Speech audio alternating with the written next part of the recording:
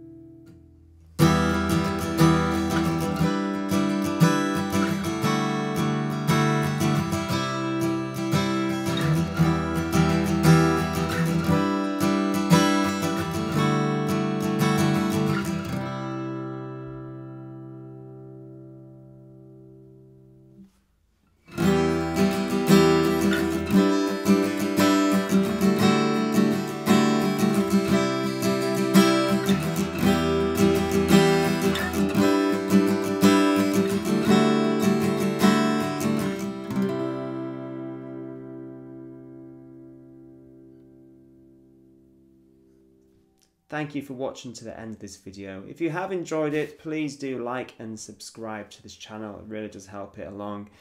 Um, let me know your thoughts. Is it really worth spending all the money on a solid body Martin guitar or just a, a cheap acoustic? Thank you very much.